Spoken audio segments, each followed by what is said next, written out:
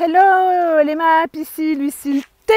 Voilà, je, voulais vous faire en ce samedi une synthèse de notre sommet de la psychogénéalogie voilà, pour juste vous dire que la psychogénéalogie, on cherche en fin de compte à, mettre, à faire quoi?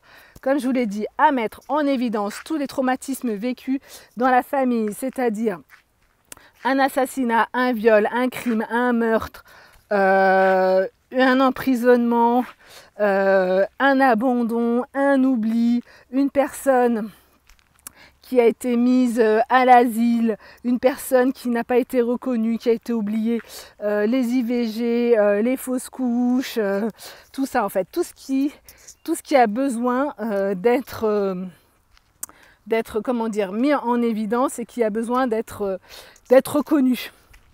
Voilà, en fait, on va aller chercher à euh, reconnaître tout ce qui a été euh, oublié et mis, euh, mis, sous le tapis.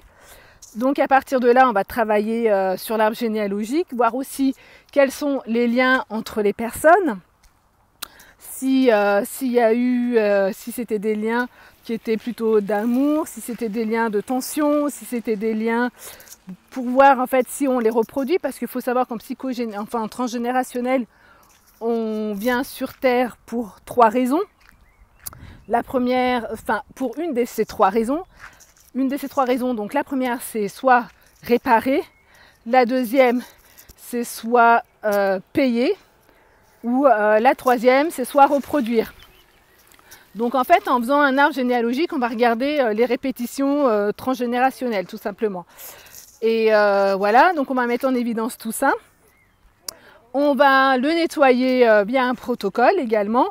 On va dire merci euh, à son père, à sa mère, pour, euh, euh, pouvoir être une femme libre, épanouie et lumineuse, et pour être s'éclater dans son, dans son job, pour avoir une vie de couple équilibrée.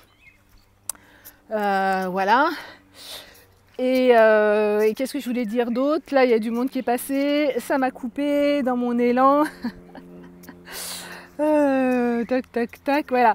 Aussi, l'objectif, c'est pas ok, c'est de dire euh, merci à ton père, à ta mère, mais c'est aussi se libérer du poids de la famille et que tout le monde soit à sa juste place.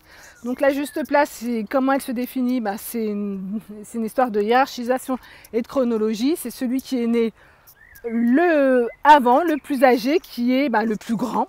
Et le plus petit, bah, qui, est qui est né après, c'est le plus petit.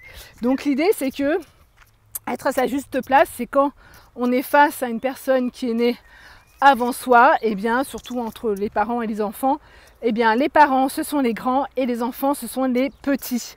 Voilà, donc ça c'est vraiment reconnaître en fait quelle est, quelle est la relation que j'ai avec mes parents. Est-ce que je suis plutôt dans une relation de euh, égal à égal Est-ce que je suis bien dans une relation de grand-petit D'ailleurs, ça veut dire quoi? Euh, Moi, je suis, elle, c'est la grande, moi, je suis la petite. Euh, est-ce que je suis pas la fille de, papa ou la fille de maman Est-ce que j'ai pas pris inconsciemment les poids, les poids de ma mère ou de mon père? Parce que quand je suis née, ma mère, bah, je dis un exemple, hein, elle était dépressive, elle n'était pas bien, et donc ben, j'ai été un enfant sage et puis euh, en grandissant, euh, je me suis dit euh, oui, bah, tu pourras compter sur moi et ainsi de suite. Et puis voilà, dans ma vie d'adulte, je ne sais pas pourquoi, j'arrive pas à me caser, j'arrive pas à me stabiliser de façon. Ma vie sentimentale n'est pas stable. Bah, peut-être que mon cœur est, pris par, par mon père, par exemple, je, je ne sais pas. voilà, c'est juste un exemple.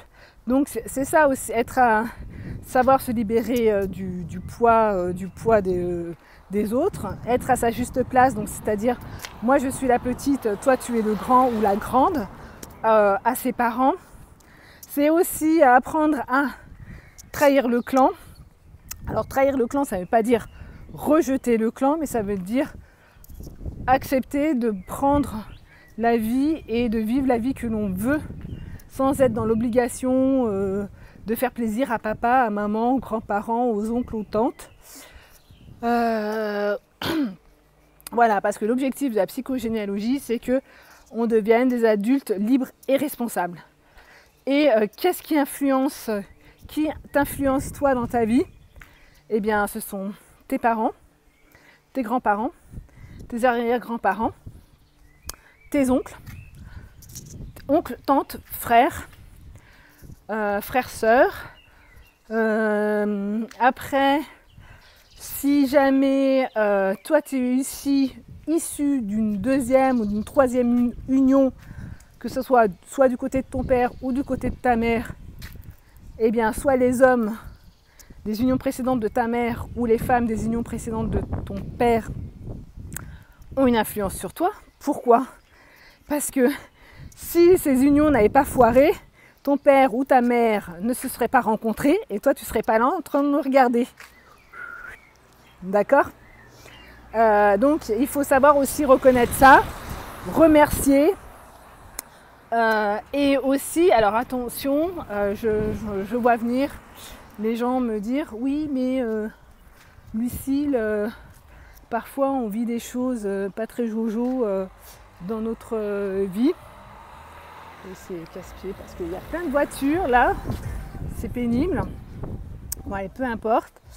Et alors reconnaître, ça ne veut pas dire euh, oui, euh, tu fais, euh, tu fais, enfin reconnaître, c'est à dire oui, ok, ce qui a été fait est fait.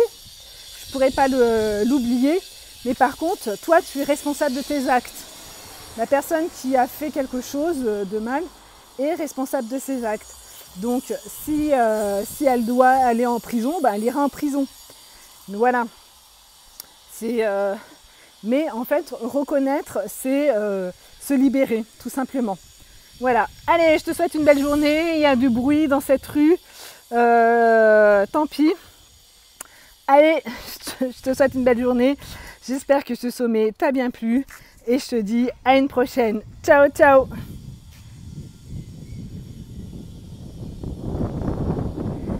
Et abonne-toi, clique, partage, commente Dis-moi ce que tu en penses.